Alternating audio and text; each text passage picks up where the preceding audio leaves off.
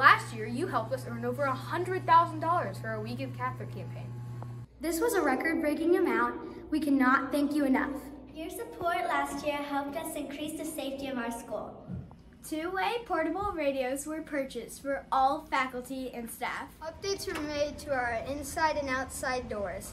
Safety signage was made and much more. You for keeping us safe.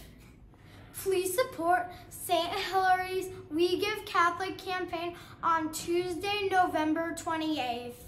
Your donations on November 28th will be divided evenly between two very important St. Hilary School causes. Investing in our future campaign, which will help keep the salaries of St. Hilary school teachers and educational staff competitive. And the second floor refresh project, which will include new LED lighting, floors, paint, and lockers. This renovation will make a much needed improvement to our third, fourth, and fifth grade classrooms as well as the foreign language classrooms.